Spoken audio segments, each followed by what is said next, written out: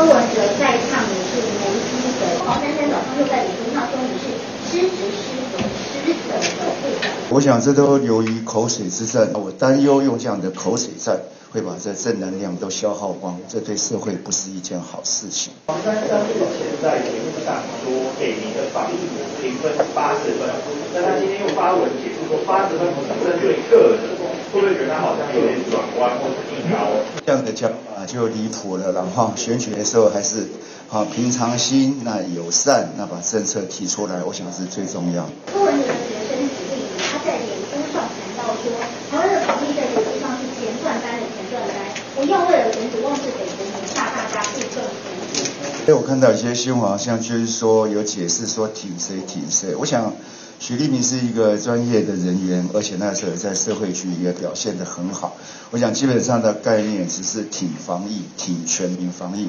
让国人知道说台湾的防疫我不要妄自菲薄，我们在世界的成绩算是好的，算是前段班的前段班。华南市场的这个自治会的会长郑中，他在接受访问的时候有谈到说，把你揍了一顿再跟你道歉会接受吗？我倒是也没有说把谁揍了一顿了哈，但是我觉得有痛的来跟我讲说到底是什么样的问题，我们可以好好的沟通。哦，没有哈要打击任何人的意思，防疫之中大家合作，一起把事情做好，这是最重要的。